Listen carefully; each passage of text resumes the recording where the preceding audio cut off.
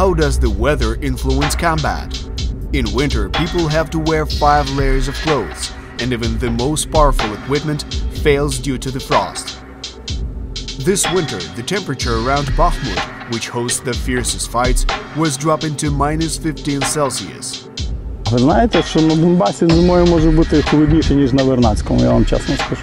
Тут досить такий клімат континентальний, і тут морози ще в тих відкритих ділянках степової частини можуть бути набагато холодніше, ніж саме на Вернадському. Ми не говоримо про всю Антарктиду.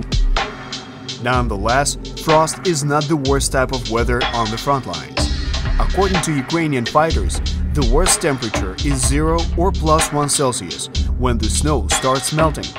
This creates a mash where everything except for tracked machinery gets stuck.